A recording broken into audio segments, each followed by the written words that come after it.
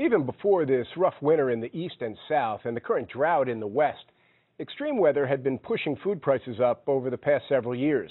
Even so, the government's consumer price index is showing little or no inflation. Well, try telling that to shoppers in the supermarket checkout line. Here's Michelle Miller. I'd like the government to stop by my house, come food shopping with me, and see where the real costs are.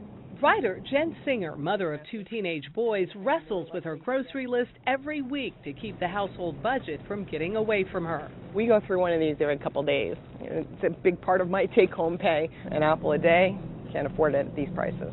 Save 90 cents. It's not her imagination. While the government says prices are up 6.4% since 2011, chicken is up 18.4%, ground beef up 16.8%, and bacon has skyrocketed up 22.8%. Oh my God. Making it a holiday when it's on sale. Bacon for three bucks. Things that are going up in price are the things that I absolutely need to buy. It's the meat, it's the milk, it's the eggs, and it's getting out of hand. $8.32 for this.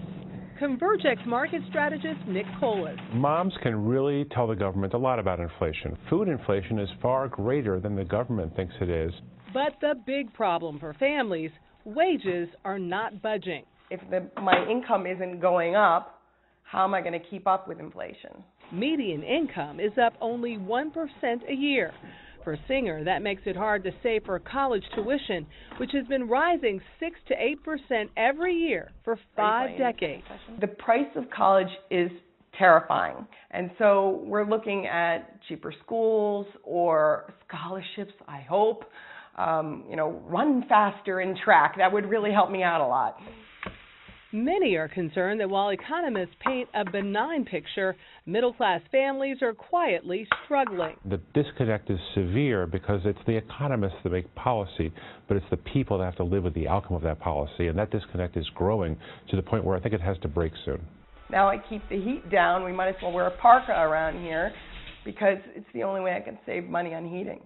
As the costs go higher and the budget battle continues. Now this is a great price every now and then. Saving six dollars. A victory. Michelle Miller, CBS News, New York.